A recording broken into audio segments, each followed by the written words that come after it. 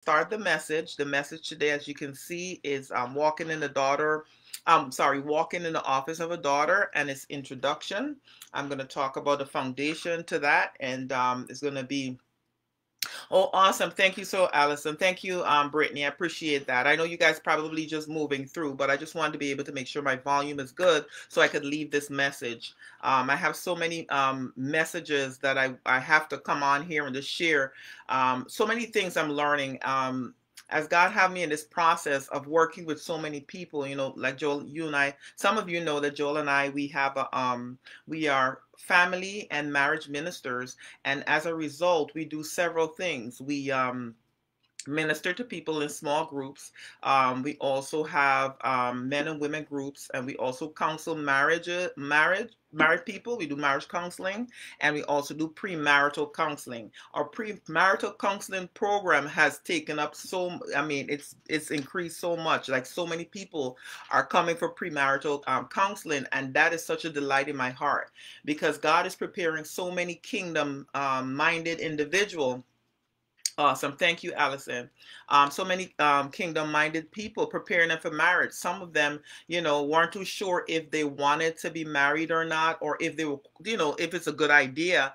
But after um, going through counseling sessions, they realized not only were they called to, to in the responsibility to be um, married, but that they have the ability to be married. And they, the person that they're choosing is the person that God assigned. You know, God said, this is the person that you guys are going to be having a synergistic um, relationship relationship with to advance the kingdom of heaven. So a lot of people, again, um, people just want knowledge. They just want to know that they they're doing the right thing. There's a support systems. There's solutions to things. You know, people want to know that there's a manual. There's you know you know they're not going to take go on a road and know that a road of unknown and they fail a lot of people are afraid of failing right and so that's wisdom on their part in my opinion so i start off mentioning that um, we are counselors as well, and um, one of the things uh, also deliverance ministers, and those are some of the things that we do in addition to jobs and stuff like that, and running a house, mother, uh, married, and and and mother of three children. Um, all those responsibilities, you learn so much when you're walking with God. And um, one of the things I learned quickly was my the off being in the office of a daughter. Um, when Joel and I was having our struggles in the beginning of our relationship, like I think about six years, no, about eight years into our marriage, it became so difficult. Like I didn't know how to. I had think I thought I had things under control, or I knew what I was doing, but it became so difficult to the point where we knew that we were under spiritual attack. There was no other answer, no other solution, because everything that was happening in our marriage made no sense. It was made absolutely no sense, and so that's when I again, that's when God um, started tugging on my heart um, to show me because I was so brokenhearted and I wanted help so badly. And then I, I turned to God. You know, I know He was tugging at my heart, you know, Sherilyn, look towards me because I don't think I would have gone unless the Holy Spirit was the one showing me.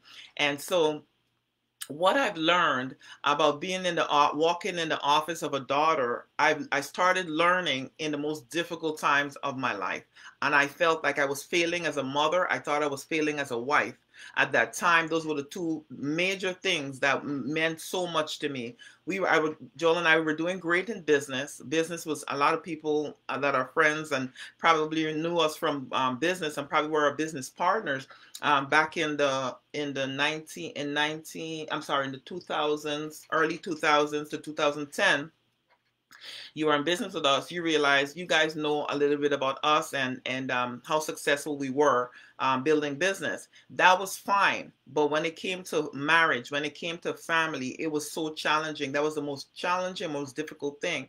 So all of that to say, God in in in in that um, season of my life, the most difficult times in my life, that's when I understood who I was in Christ. It didn't take a month, it didn't take a year, it took several years. In fact, it took about probably close to 10 years for me to understand that, right? And of course, he was showing me all the time, but it didn't really click until about 10 years into it. So I'm going to go in uh, and start talking. Since the volume is on and good. Welcome, Don. Thank you, um, Brittany, and thank you, Allison. But here we go. All right. So here the topic starts. So we are daughters of the Most High God. A lot of us know that, right? You know, most of us know that, but do we don't understand it, right? We don't understand what it means to be daughters of the Most High God. Therefore, how can I tell that? A lot of us don't know, understand it. Why? Because we're not walking in it, right? When we're walking as daughters of God, we don't walk in fear. We walk in love. We walk in power, and we walk with a sound mind based on a lot of um, frustration, anxiety, stress, diseases, um, you know, broken marriages, women, single women, women that are um, unsatisfied with life, we can tell that we're not walking in the office of the daughter of God. Because when we walk in the office of daughter of God, then we are not, we're going to succeed in everything we touch our hands to right? We're going to be we're going to see blessings. Everywhere everything we put our hands to our marriage. When we become um, when we become um, parents, mothers, when we start that business, when we um, um, start that job, you know, whatever it is that we start to do, we're going to see success in it. And that's evident that we're walking in that office and we know and understand um, that that is that office, that that anointing, that ability, that gift that God gave us, who God called us to be basically, not even a gift, is who we are innately who we are. All right. In order to walk in it, we need to to be wise. That's one of the things I learned that I had to have wisdom, right? We need wisdom. There are steps to wisdom though, right? I like to I like to believe that Proverbs 31 was very intentional when it's when when it was given when it was giving instructions as being um um a good wife, a wise a wise wife, right? What I found as a wife is that in order for me to be a good wife, I needed to, to have wisdom. I really need a lot of wisdom. Um, I also understood that what wisdom for me, it took, uh, it was a process. A lot of times we just figured that, you know, we would read something and we would gain wisdom. That's not necessary. That's not the, that's not the truth actually. Well, we have to understand that wisdom is a process. We have to go through a process, right, in order to get wisdom. In fact, when we get understanding, I'm sorry, when we get knowledge, we need to get understanding first understanding is itself is a process because we go through trial and error we go through struggles we go through issues. Like i was mentioning prior um, when i started this i uh, out of a lot of trials out of a lot of failures out of a lot of disappointments and um, heartbreak is where i started to learn different things about um, being a wife being a mother being a woman you know being a child of god because the Bible tells us um, in in uh, I don't remember it right now, but here's what it says. It says, um, David was saying, It's good that I may be afflicted, that I may know your laws, God. And this is the end result is for God to, to teach us his laws. Because in, in us knowing his laws and understanding his laws comes wisdom. Right? So let's go to um, scripture. So Proverbs in Proverbs, um, Proverbs uh, 4, 5 to 9, it says, Get wisdom, get understanding. Forget it not, neither decline from the words of my mouth. Forsake her not, and she shall preserve you. Forsake who not? Forsake not wisdom. Love her, love wisdom, and she shall keep you. Right? You know, um, keeping us, sustaining us, preserving us, keeping us in that perfect peace. Right? Um, wisdom shall keep you. Wisdom is the principal thing Therefore, get wisdom, and with all thy getting, get understanding. So, I want to bring forward and talk a little bit more about um, wisdom being the principal thing and also understanding, right? Continuing um, Proverbs 4 um, 5 to 9. Exalt her, and she, and this is understanding, exalt understanding, and she shall promote you. So a lot of us right now, we're in a place in our life with this where we're, we're dissatisfied with where we are, whether we're having issues in our marriage, whether our children are being rebellious, whether we don't know what we're doing concerning parenting, whether we don't know our purpose, whether we feel frustrated, whether we feel like a failure, right? We're we're wanting promotion. We want to get out of this season We want to get to that place that um, where God called us. You know, we're looking for our breakthrough, but we need understanding in order to get to that place right? So it says here that in um, Proverbs 4 and 5, um, I'm reading from verse 5 to 9. It says, exalt her, exalt to understanding, and she will she shall promote thee.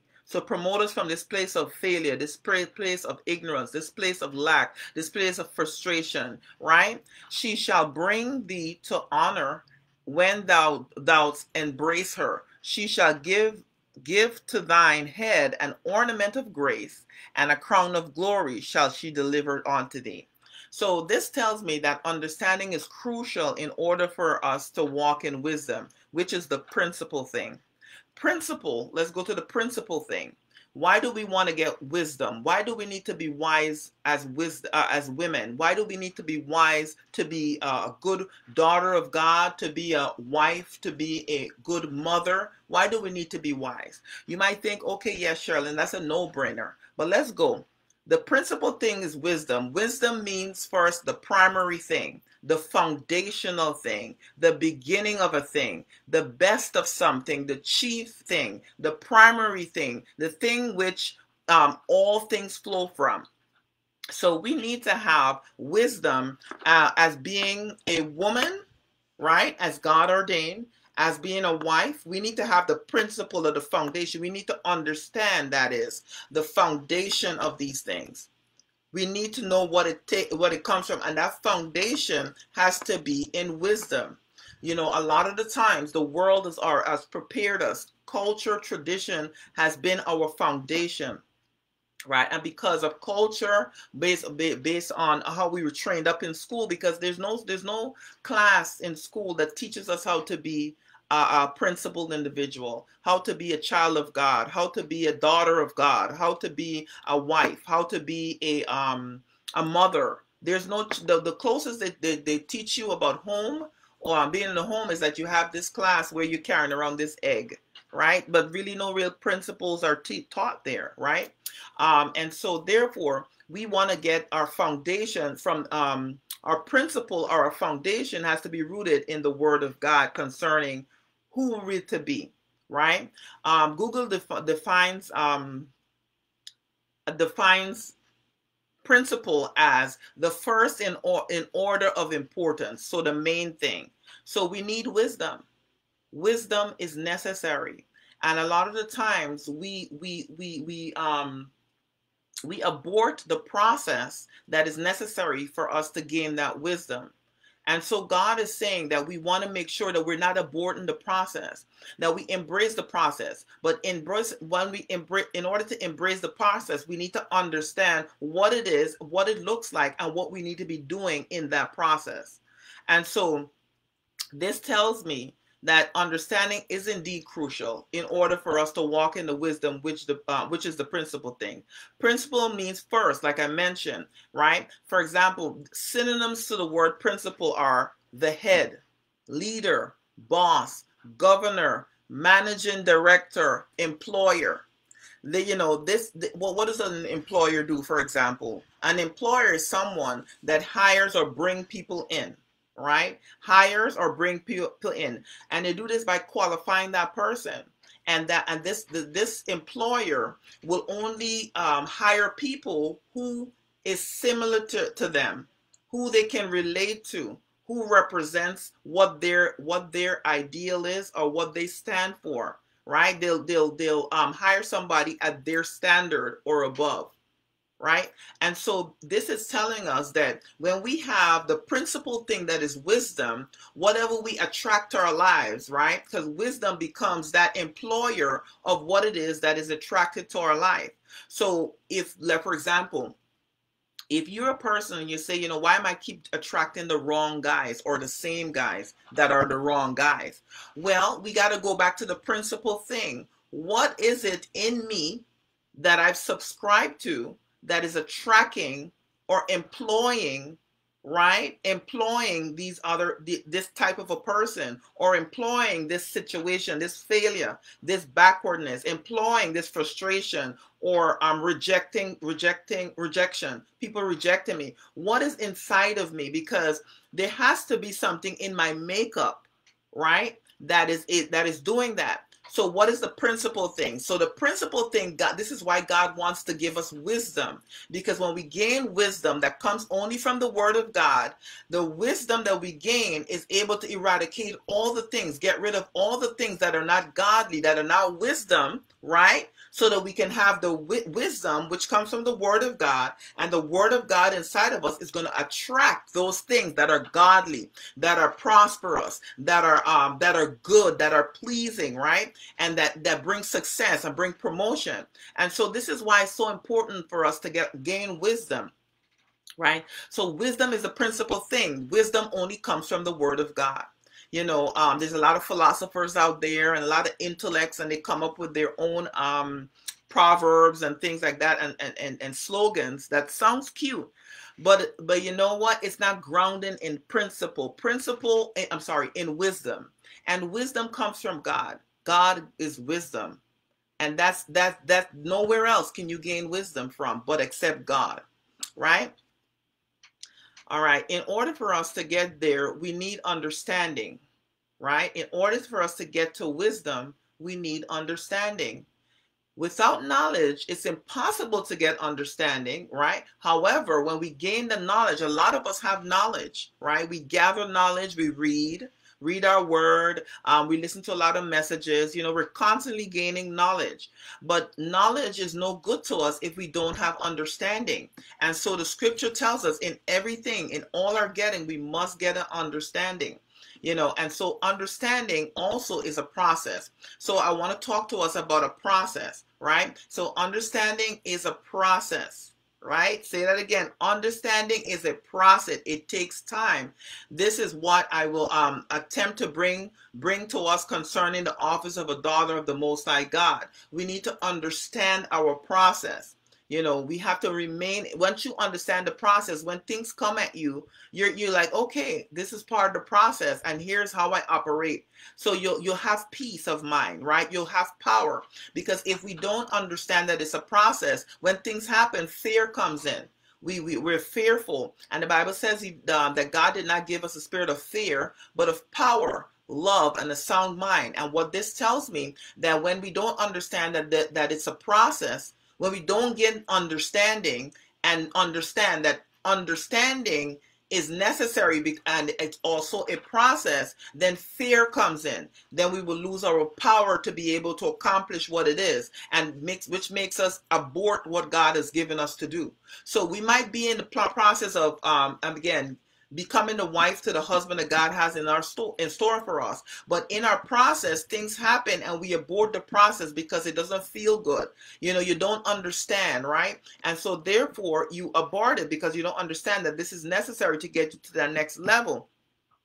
And so you're at the same point not gaining the blessings and the favor and and all that God has in store for you as the daughter of God, right? So we have to know understand that Understanding is a process. So the Bible tells us that in all our getting, it says wisdom is a principal thing, but we need to have understanding first.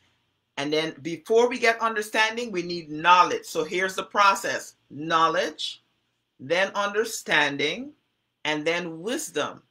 So when we get the knowledge, we go through a process that gives us understanding. So the tests, the trials, the situation that we go into, you and I, what happened, this is, is necessary for the affliction to come because we're gaining certain understandings. Standing, this helps us go to seek knowledge pertaining a specific area. And as we're going through and we're utilizing the knowledge we have and we're actually exercising it and walking it out, and then we see the rewards of the promise fulfilled based on our action, right? Which is faith, which is our um, us believing the word of God and walking it out. Then we're gained understanding. And when we are in the pattern of, of doing the word, we gain its wisdom. It's likened to us as wisdom, right? Now, one of the things I want us to understand as daughters of God, we're called, we're given um, two main responsibilities, right? Where we have two main responsibilities of, as daughters of God. And that is number one, we're called to be priests. Number two, we are kings. We are priests and we're kings. Don't get thrown off with the king king's word because again, you men, male and female are part of mankind. The man that God created in Genesis, mankind is man is plural. He says, "Let us make man in our own image." God is male. Is God the Father, the Son, and the Holy Spirit? There's no female God, right? Um, angels is Gabriel, Michael, Lucifer. They're all male. So spirit. This tells us that spiritual being is like a male. Um, it's it's a, of a male. I don't know what's the word. I don't want to say sex, but it's male, right? It's not really female. So you and I are really spirit man. So we are kings. We're referred to as kings in the spirit realm. So in the spirit realm, we're considered um, as daughters. We um our responsibility is to be priests and kings, and that's why the Bible tells us that Jesus is King of all kings, right?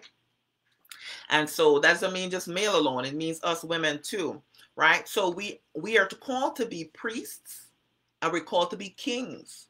So this is our job.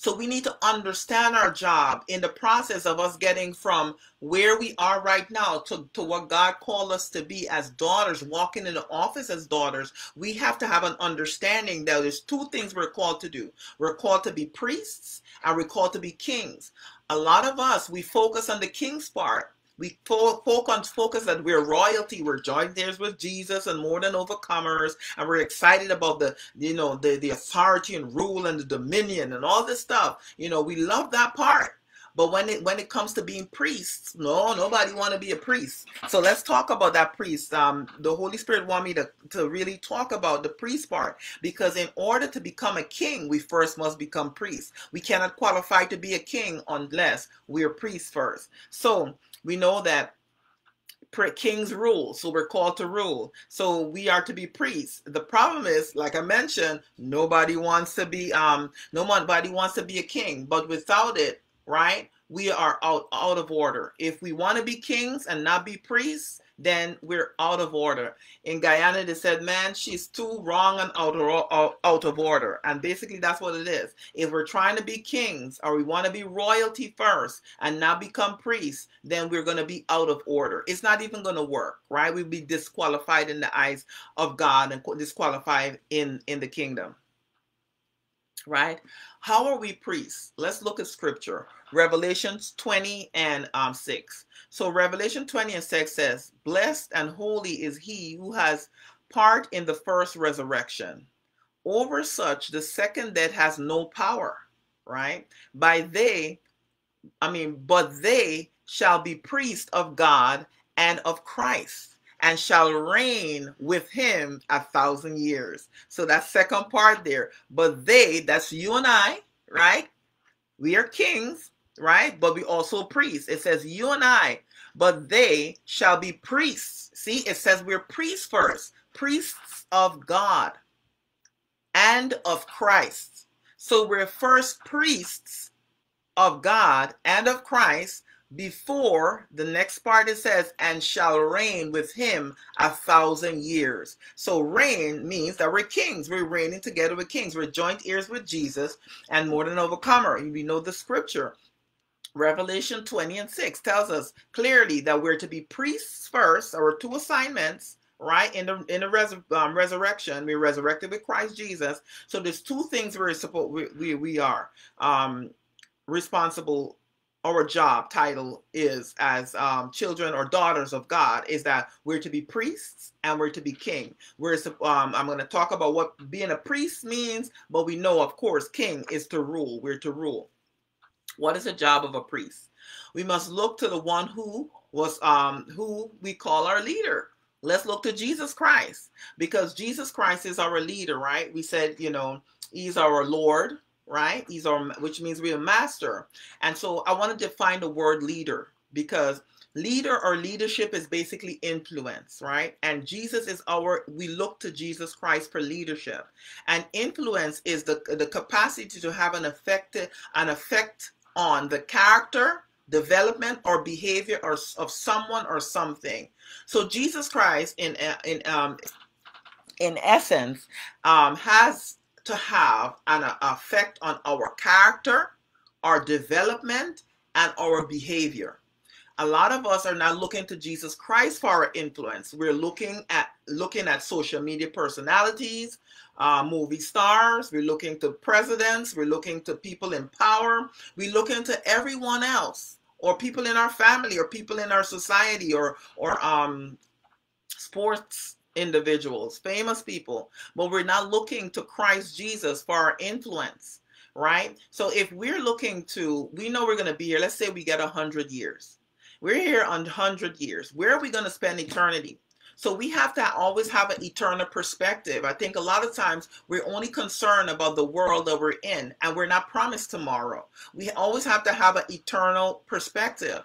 So if we have an eternal perspective, we want to make sure that we're preparing ourselves now for what's going to happen for a thousand years. As Christ said, we do we want to reign with Jesus Christ, right? Um, as priests and and as as kings, or do we want to spend eternity in in hellfire. I don't know about you, but I want to be reigning with Jesus Christ. But we have to qualify for the job. And so this is what Jesus Christ, with his Holy Spirit, is constantly helping us to realize, to bring understanding to us. And so leadership is basically influence.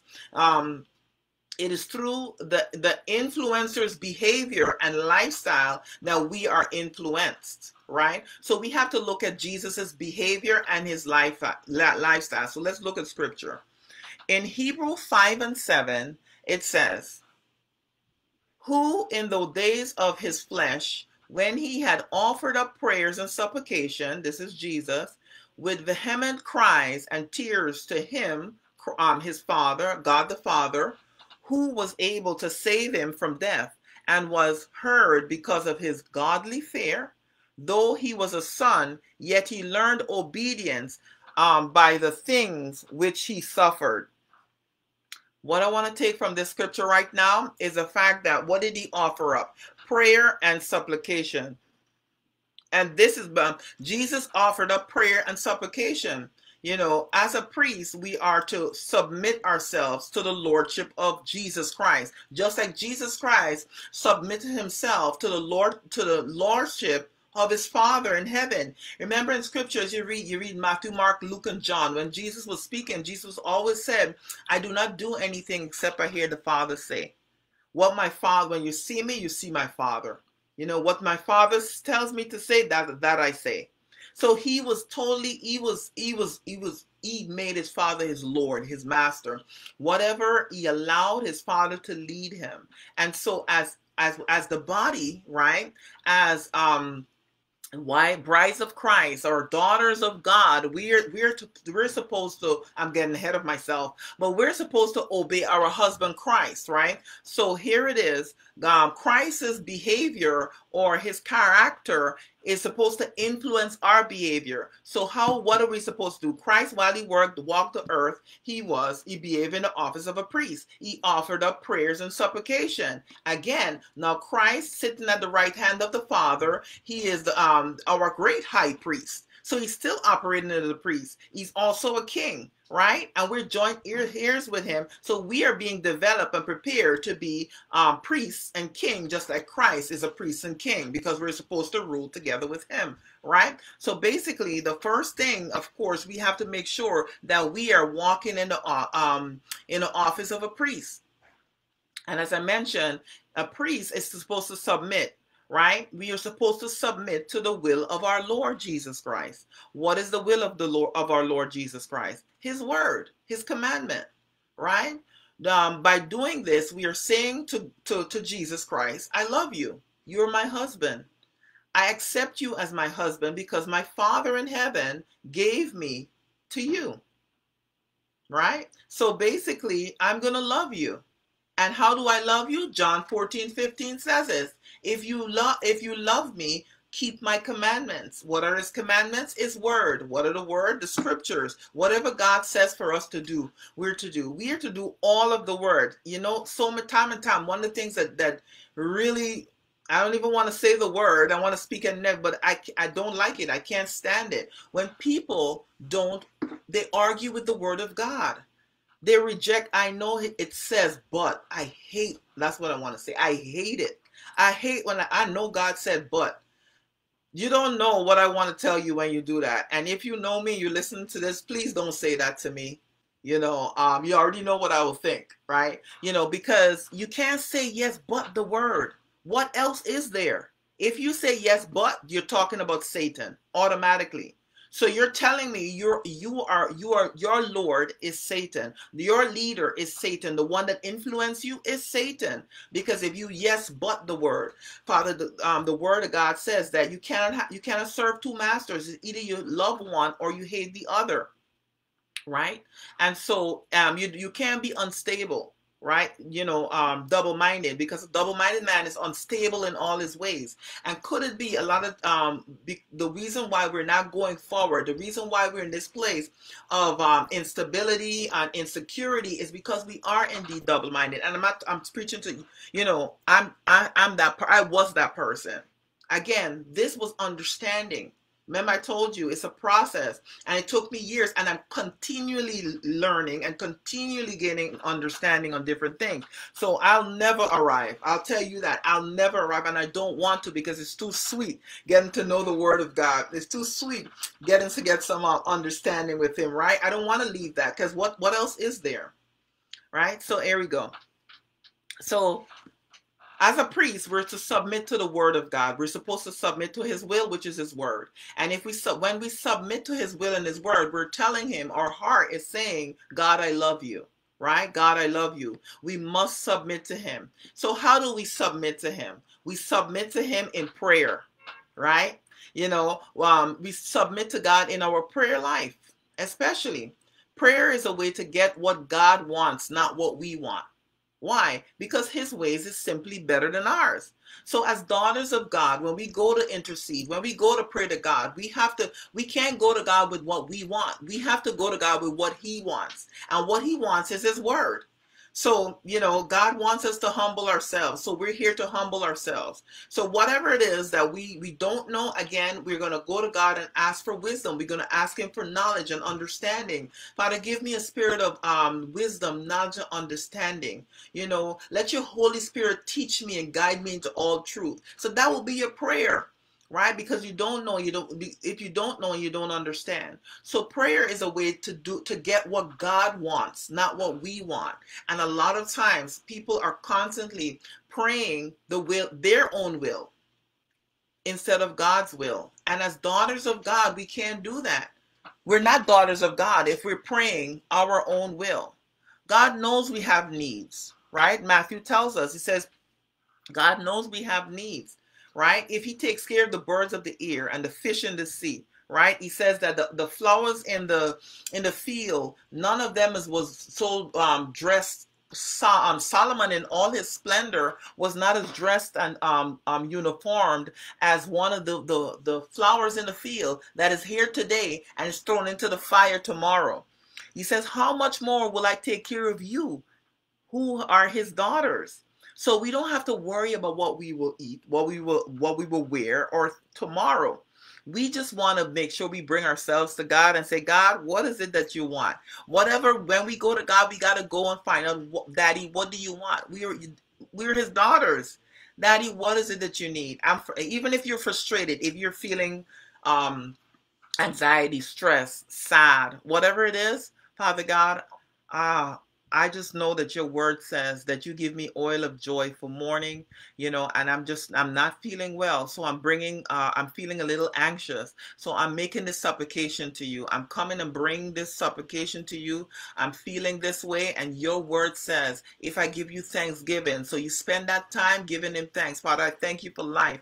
Um, I thank you for, for health. I thank you for strength. I thank you for my job. I thank you for my children that they're alive. I thank you, Father God, that the the world, you know, we, we even have a world that I have a roof over my head, you know, that, you know, there's people that I can reach out to you. I'm thankful that I can even pray to you. I'm thank you for Jesus Christ. I'm thank you that Jesus Christ died for me so that I could have life and I could come to you, right? Um, because the, the veil was torn. So I could come to you and not be rejected and you will hear me, right? And answer me, you know, and so there's so much things to be good, grateful for. If you don't know what to be grateful for, open up the Psalms. There's some wonderful Psalms that you could have a good time in there, you know. Um, so praying the will of God, you want to pray what God wants. What does God want? His word.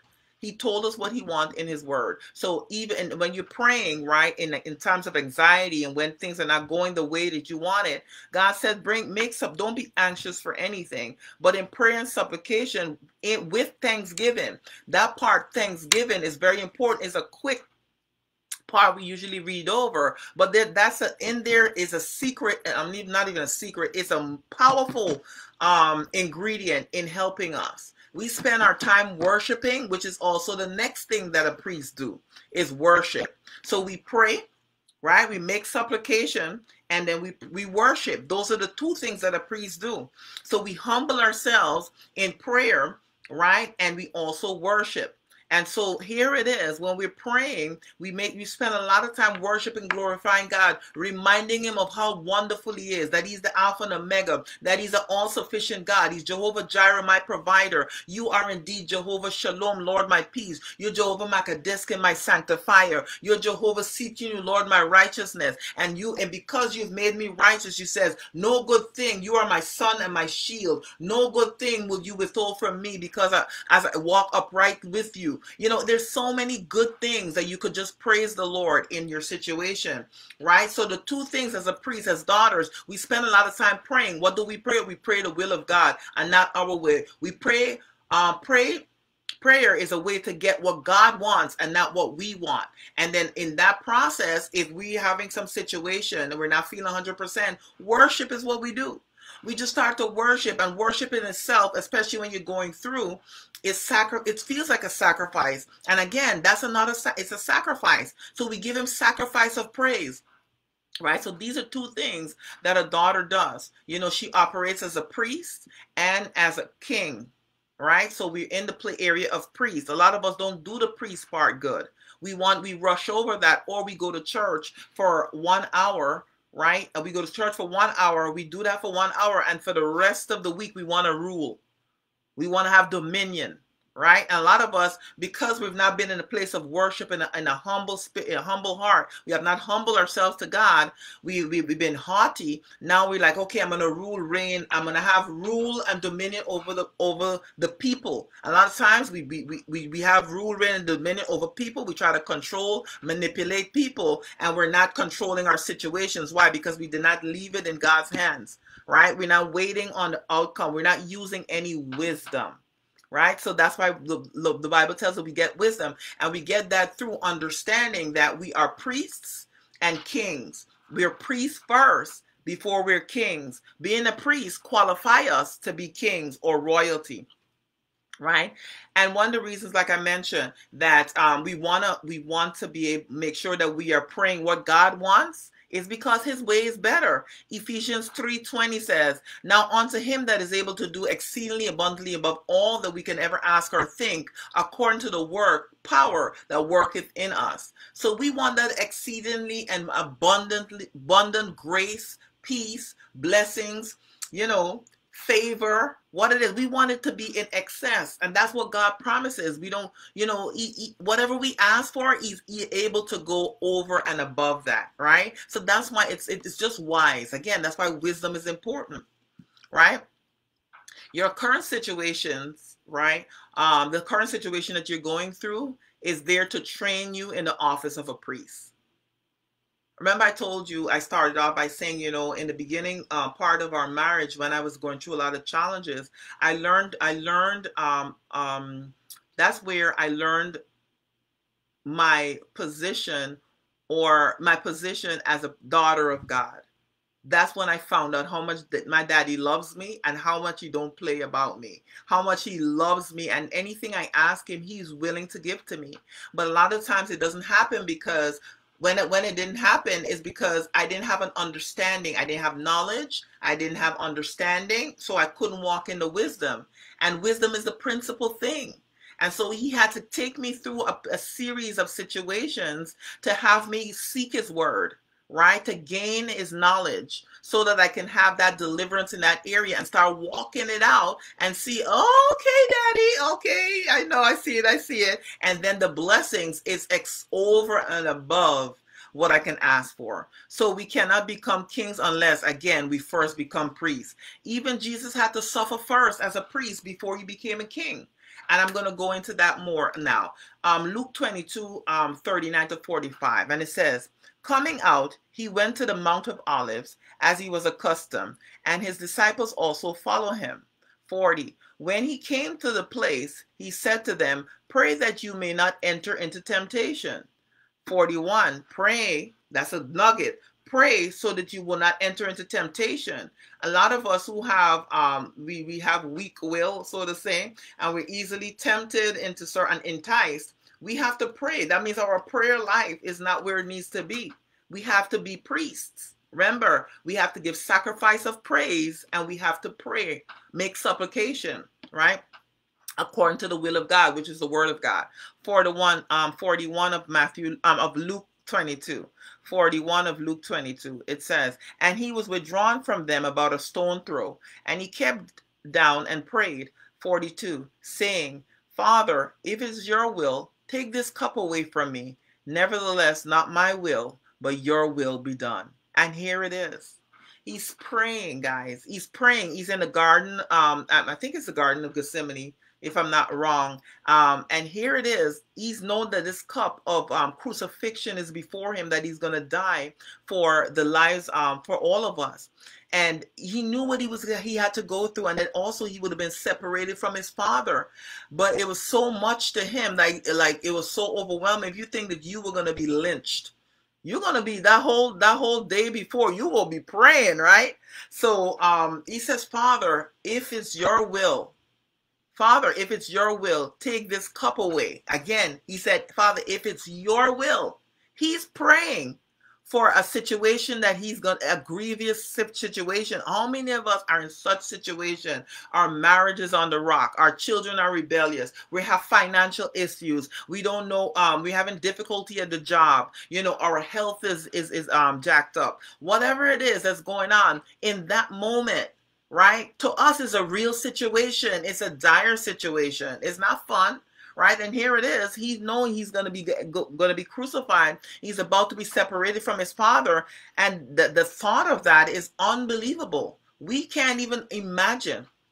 And he says, Father, here's his prayer. Father, of Luke 22 42, he says, Father, if it's your will, first of all, he's asking, Father, if it's your will, he didn't say, Father, it's my will that you take this cup away from me, but nevertheless, let your will be done. No, he says, Father, if it is your will. So we have to pray the will of God and not our will, right? He says, if it's your will, take the cup away from me. Nevertheless, not my will be done, but yours. Right? Not my will, but yours be done. And then it says, Then an angel appeared to him from heaven, strengthening him. And being in agony, he prayed more earnestly. And here it is. We may be going through our situation. It may be like, oh God, I've been praying on this situation for like five months now, a year now. Father God, you may be praying in agony over it earnestly, but you have to continue to pray. You got to continue to pray pray until you see the manifestation of what it is that you're praying because because sometimes a lot of the times we're not praying the will of god but when we pray i found that when i pray the will of god it doesn't take too long it doesn't take years when i pray the will of god the set time comes and i and i get it in the set time right? But I know I always have to understand that there's a process, and I might God is showing me something in that process. So in while I, while I'm praying for Him and believing Him to come through in an area, right? I am also paying attention to what I need to learn in that process because He's showing me, He's always showing me to give me understanding. Right? So here it is. Um, Jesus Christ continued to pray and he um, prayed more earnestly. He dug, dug in. Then he's then his sweat became like great drops of blood falling down to the ground. When he rose up from prayer and he had and, and he had come to his disciples, he found them sleeping from sorrow. Then he said to them, "Why do you sleep? Rise and pray, lest you enter into temptation." Again, uh, it shows me that prayer is a way on how we can shield ourselves from the temptation of the devil. If we are not spending time praying the word of God or the will of God, or you know, even if you're praying in your in your tongue in, in, in, in tongues, you know, sometimes during the day, sometimes I'll just be here and I just be praying in tongues because I don't want my brain to be going all over the place because guess what temptation is all around you I'm tempted to be anxious to to think too much about stuff, to be caught up in um to-do lists and that type of stuff. I need to do that because I need to train my mind not to think about different things because I have a tendency, I had a tendency of um worrying and fretting, right? And um yeah, fretting about things wanting things to change and then fretting about it, right? Um, I didn't fret open with my mouth, but it was in my brain. I was anxious. I won't tell nobody anything, but I'll be thinking about it over and over in my mind. So I have to pray in the spirit so that I won't let, let, be led into that temptation of vain imagination, right? And so we have to make sure that we're taking the example of our leader, Jesus Christ. So we're called as daughters, again, to be priest and king.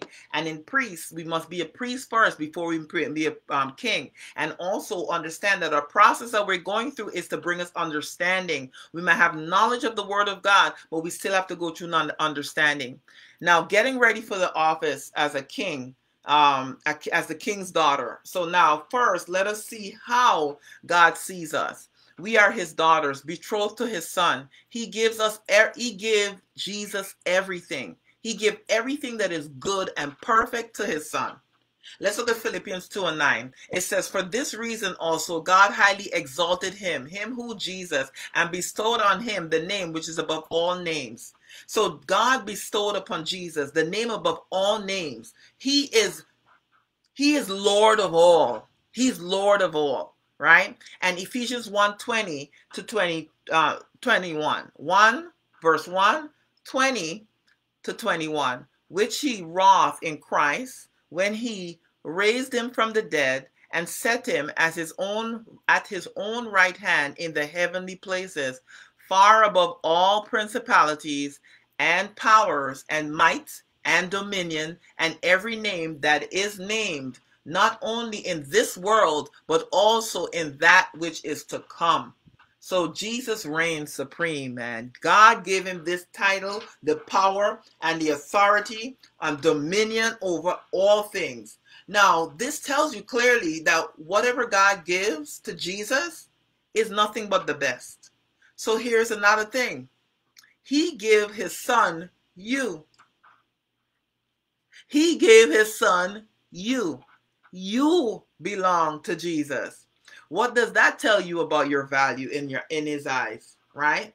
What does that tell you? If God gives Jesus um, um, a um, seat next to him in the heavenly places, far above principalities, powers, might, dominion, and every name that is named, not only in the world, but in the one to come. Right? He gave him the name above all name. He gave everything to his son, and he also gave him you. What does that say about your value? You see, we have to see ourselves in the eyes of God.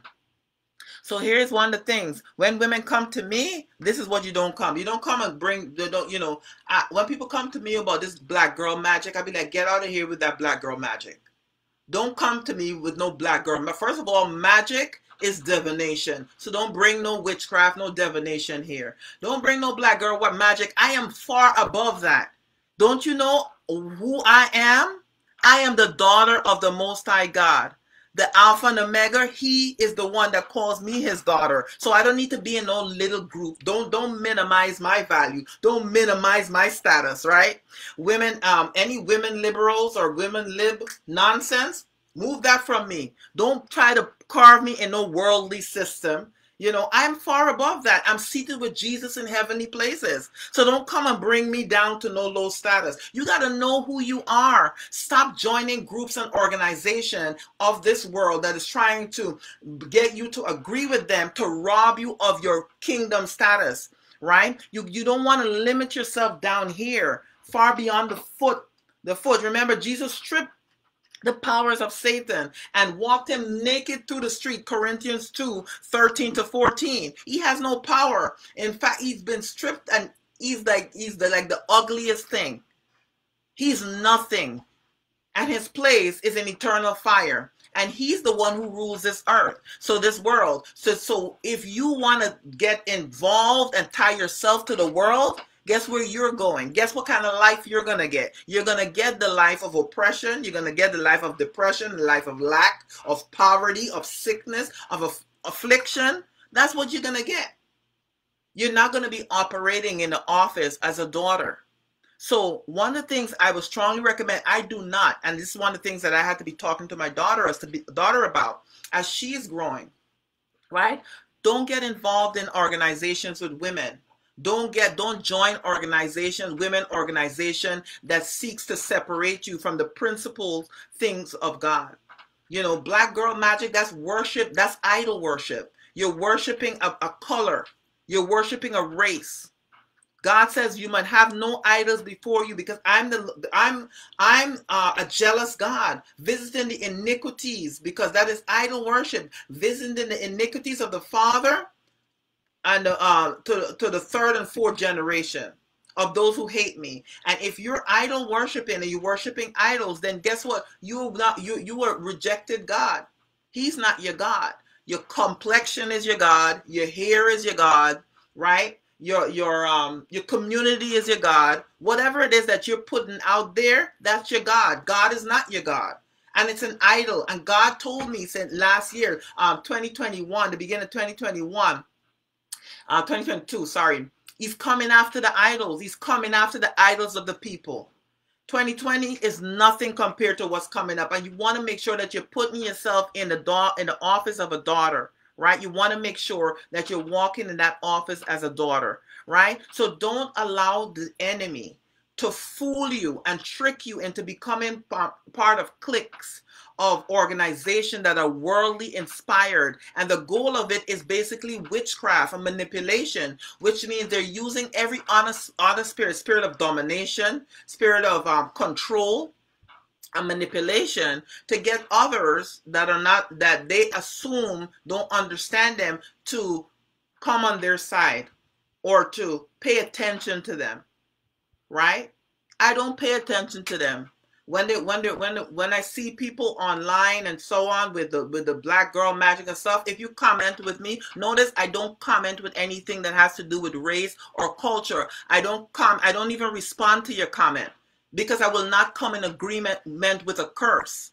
I do not want to come in agreement with a curse. And if you look at your life, you realize that there's things and affliction that's coming up to you, and you're praying to God, believing God for stuff, and it's being delayed, and you're wondering why. It's because you've you've aligned yourself with other gods. The Bible talks about it. We play the harlot. You belong to Christ. You were betrothed to Christ. And so let me go into scripture. Second Corinthians 11 and 2 says, For I am jealous over you with a jealous, godly jealousy. You hear that? He th- this is what you are royalty. He betrothed you to his son.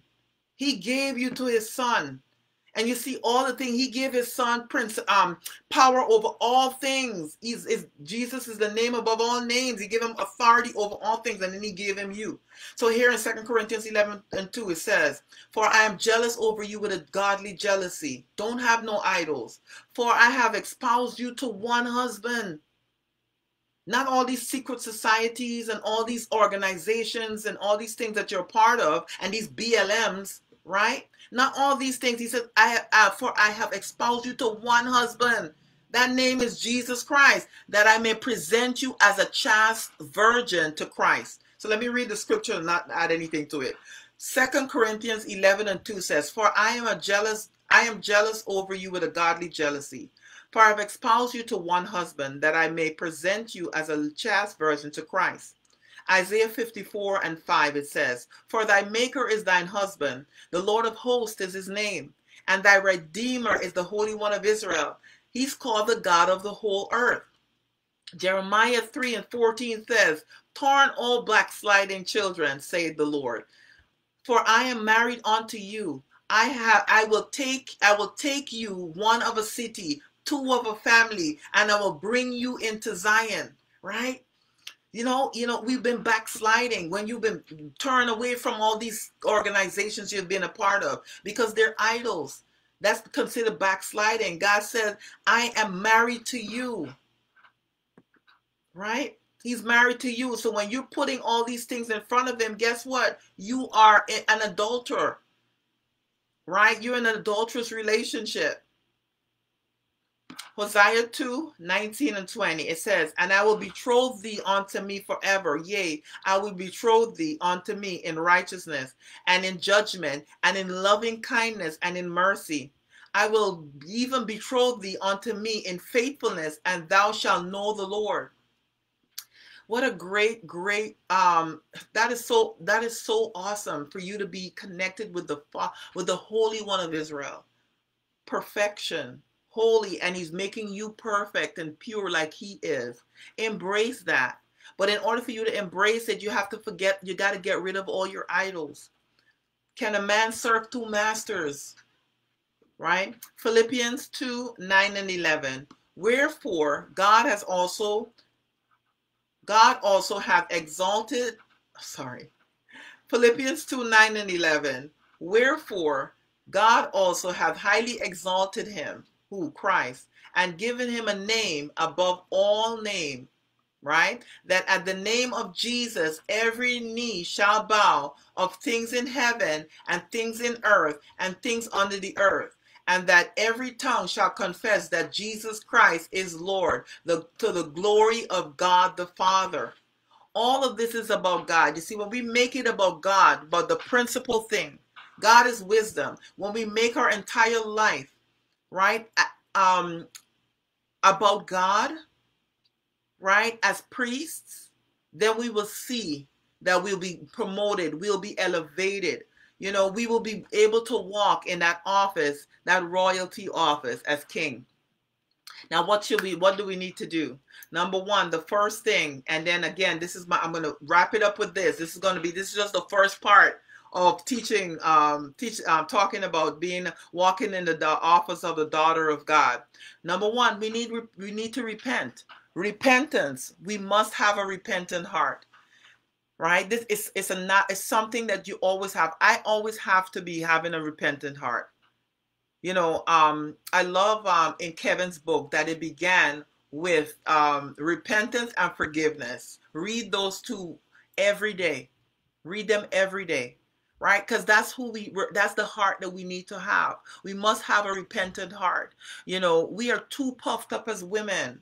Like i started off talking about we are too puffed up as women. We compete with men. We kill our children through a, with, with abortion also with our mouth tearing them down we look for our identity, security, and purpose in people, places, and things. We look for acceptance in groups, clubs, societies, and organization. We're always looking, you know, looking away from the home, but desire to have a home. You know, we have we have overcome. We we've we've become so skillful at being a witch. We've become skillful witches we manipulate others with our emotion, our brokenness, our skin color, our hair, our body size. You know, well, you know, we're the big bone girls. And if you're a big if you're not if you're not big bone then you can't be with the oh we the slim girls. If you're not slim like us then you got to go over that side or whatever the case may be. Or my hair my natural hair you know you go away with your straight hair. Guess what? You are trying to manipulate dominate and you're trying to control others and their emotion. It is witchcraft. Stop it. We try to dominate our husbands and our sons, right? Um, which whatever means um, necessary. We try to control everything in our life and not release it to the one who can help us, and that's Jesus. Second Chronicles 7 and 14 says, If my people, which are called by my name, shall humble themselves and pray, and seek my face, and turn from their wicked ways, then will I hear from heaven, and I will forgive them their sins, and will and I will heal their land. A lot of us we need healing in our land. We every our land is everything that concerns us. Our home, you know, where we, wherever we work, wherever we are, that's our land where we are, everything around us, about us. That's how I see it.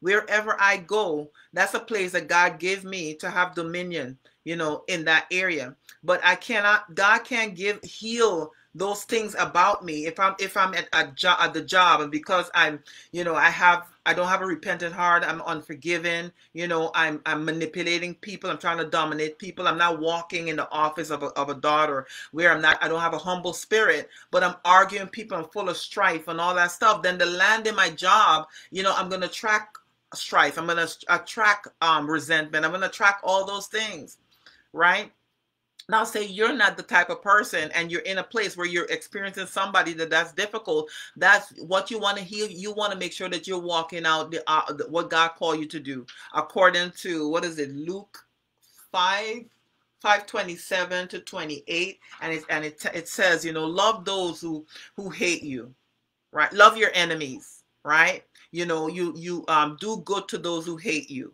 You know you bless those who curse you and you pray for those who spitefully use you and abuse you. You want to walk out your your your uh, you as Christ. You want to walk out your your responsibility as a priest in those atmosphere. And again, that's how God is going to heal your land. And so going back to Second Chronicles 17 and 4, 7 and 14, if my people who are called by my names, as we're daughters of Christ, we have to humble ourselves.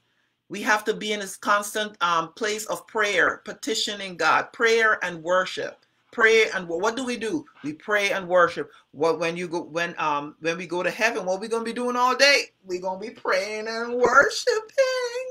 You know that like the like the angels the angels sing holy you know all that we don't have to go to no job we don't got man all we gonna be seeing is the goodness of god and it's gonna ignite worship in us all the time. We're just gonna be worshiping all day that's going to be awesome. There's going to be a party in heaven all day. So don't don't be partying with this worldly partying, right? Let's get down to business. Let, let's get practice, get our practice on with our praise and our worship, you know, and our fasting, right? Right here but we won't have to fast when we go to heaven. We just will be praying and praising and worshiping because you know the Holy. Um, when you read Revelation, the, the, the angels and the saints they just sing holy, holy, holy is the Lord God Almighty. I could imagine how beautiful heaven is. You know um, how the new how beautiful the New Jerusalem is going to be when we get there because everything is going to ignite incite um worship inside us make make us want to worship worship you know all the time that's what i envision it as so um I don't know what Holy Spirit gave you to envision. You envision that. But Psalm 51 and 17 says, The sacrifices of God are a broken, broken spirit, a broken, a contrite heart. These, O God, you shall you shall not you will not despise so god you don't want god to despise you as as his daughter you want him to always accept you willingly accept you in his presence and anything you come he can't wait to see you remember it in esther in the book of Esther, when she fasted and prayed and humbled herself before her God in heaven, what happened? The favor came towards her from her husband on earth. And so much so that he said, You know what? Come, come before me, queen. Up to half of the kingdom, I will give it to you because of the favor. He just welcomed her in the pres in his presence. And though she went before him when it was law um, unlawful to go before the king if you're not summoned. If he didn't give you the invitation and you come there, he had to have grace and faith. You have to have grace and favor of, of him for him to um to put out his scepter to welcome you if you didn't, if he didn't, um, if you didn't find favor with him, was off with your head, right? But she found favor with her husband. Not only did he put out the scepter to accept her in, her, in his presence, but he says, "Oh, up to half of my kingdom." And, and he was, he was, he was no regular. He owned like most of the rest, the, the, the rich world, right? The Persian Empire was like the the the main empire back uh, in those days, and he was going to give her half of that Right? So, how much more your God in heaven, who owns everything? Everything right? He subdued um, uh, scorpions and serpents and all the kingdom of darkness under you, according to Luke 10 19 right this is what god is doing does for you and he does he's able to do that that's able to be manifested when you go before him with a broken and contrite heart so if you go there puffed up and haughty he's not hearing you in fact he's resisting you the word says the word says he resists the proud but he showed more grace to the humble. So we want to make sure that we're going before him. So I'm going to read Hebrew 5 and 7 again. Who in the days of his flesh, that's Christ, right? Um, Jesus Christ, when he had offered up prayers and supplication with vehement cries and tears to him who was able to save him from death and was heard because of his godly fear, though he was a son, yet he learned obedience by the things which he suffered. So the last part, um, um, Hebrew 5 and 8. Though he was a son, though you're a daughter, right? Though you're a daughter, yet you're yet you need to learn obedience by the things that you suffer what we were talking about before you're gonna go through suffer you, your challenge that you're going through right now is a preparation ground. It's giving you it's to give you understanding because god wants you to walk in wisdom. He wants you to be wise because from the foundation the beginning of wisdom you know from the from the foundation of the root of wisdom then all it employs and attract all things are good. It attracts the blessing the favor, the promises of God from His wisdom, from Him. But if we don't have the wisdom, then we don't qualify for those things. And God is simply causing us to go through certain suffering on certain challenges. Why? Because He wants us to be obedient to His word, to His way, and His will. And that could only happen when we have a repentant heart, when we're humble before Him, when we have a broken and contrite spirit, right? The best way to repent and to humble ourselves is to love, uh, live, sorry, a fasted life and love living a fasted life we have to live in live a fasted life because there's so many things in today's world that's constantly cluttering cluttering us and vying for our attention and we don't know what was put inside of us. So a fast resets us right? And it resets us not only in the physical um, and in our body, but it reset on our mind here on our soul, but it resets us in spiritually. Because we don't know the spiritual attack that was building up against us because Satan is jealous of the blessings and the life that God has given us right so we even though things are going good you want to make sure that you still remain a priest right in order to qualify to be that that king we must first become priests so we want to fast to repent, forgive, thank God, and worship God. So we want to live a life of um, repentance through fasting. Always when people uh, do something to us, when we, we, we fall short because we're going to sin, every day we sin, right? I might, I must have probably, I probably sinned in this conversation, right? But what I'm going to do is to make sure I repent. Father God, if there's anything I've done in, in, in thought, word, or deed that was contrary to your perfect will for your daughters and may have hurt, hurt them in a negative way, I repent for it. And I thank you for forgiving me right? And so, and the next thing people you want to do constantly is forgiving. The things I tell our children, I said, make sure that you always forgive and never go to bed not forgiving people. Always forgive because people are going to do things to you all the time but you always want to be forgiving. Because god forbid your, your your life gets taken. If you die in unforgiveness you are not going to heaven. The bible tells us clearly in um i can't remember the scripture right now. I know it's a 14 and a 15 in it but it's scripture that says um because god forgive us we must forgive others. Because god forgive us our sins we ought to forgive others because if we don't forgive others their sins, then God won't forgive us our sins. In some places says, if we forgive others their trespasses, then God will forgive us our trespasses against others. And that's what we want. And we want to live a life of worship, always sacrifice of praise, especially when things are not going good. I got this um, tip from Tiffany. She says every time she um, have a tendency to worry, she worship instead. And that's something that I need. That was a nugget that I got because one of the things when things are not going right, I won't say it out, but in my mind, I will worry. And I didn't know it was worrying. Because if I'm playing it over and over in my mind, then I'm worrying about it instead of worshiping over. So that's it, guys. I'll say a quick prayer. I'm about to get on a um, call right now. Heavenly Father, I thank you for your daughters. Father, we give you glory and honor, thanking that you are indeed our Father in heaven that loves us. You love us so much that you sent your only begotten Son, perfect in all of his ways, pure and holy, exceptional king. And I can imagine how handsome he is as well. You sent your only begotten Son, Jesus Christ, to die for us in our sinful nature, while we were still sinners, you died for us. And we fall short every day, Lord God, but still you sent your son because you knew we couldn't do it on our own. And we're so grateful to you. I'm just thanking you, Lord God, and blessing your name. What a great awesome dad you are you're an awesome father you're a father that loves you says you you you um those whom you love you chasten right? Just like a father um, chastens the uh, the son that he loved. And I thank you, Lord God, that though we may be going through challenges and struggles, we are thanking you right now for them. Why? Because we know that you're showing us that you love us, because you're chastening us so that we could gain knowledge of the things that we're not doing right, so that we could gain understanding, which is getting your word, learning your word, and acting out your word. I mean, living your word, not just being hearers, but doers also, so we could have that understanding and therefore walking in wisdom. And wisdom, your word says, is the principal thing, and the principle in from which all things come from. The principle is is the beginning thing, the, the, the foundation of a thing, and it employs um, is the boss, the, the, the, the, the head, the leader. Principal means leader, means the boss, means employer. And so therefore, as as the wisdom being um the employer inside of us will employ or attract all those things that you you had in store for us before the foundation of the earth. For your word says that you've blessed us with all spiritual blessings in the heavenly realms. And so lord god in order for those things to come down we must be doing we need to do something right.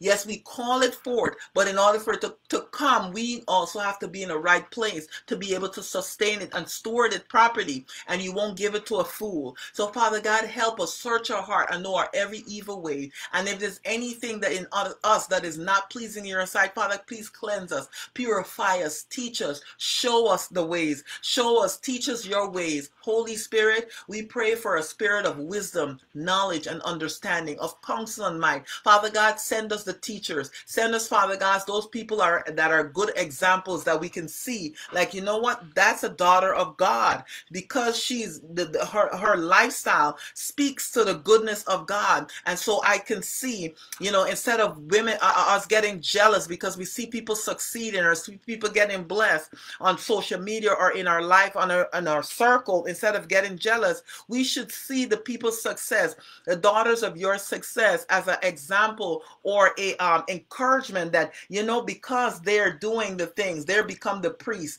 they're, they're operating as a priest, fasting, praising and worshiping you, humbling themselves when I do that, the same thing come onto me. And in doing the humbling ourselves, we will see the wickedness in our own heart, Father God, that you will convict us with the wickedness in our own heart so that we be delivered from those things because it's not, it's not of a virtuous woman. And so, Lord God, I thank you that you're making us virtuous women.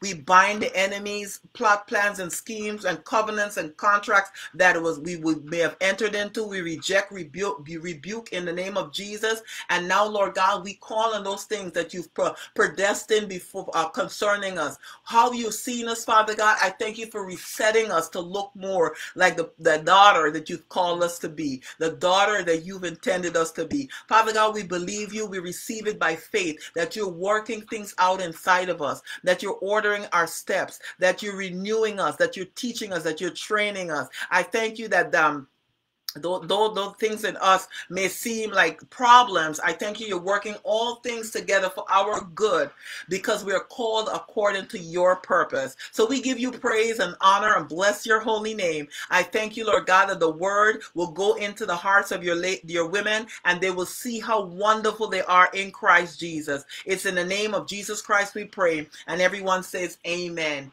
Amen, amen, and amen. God bless you guys. Have a great one. Love you guys.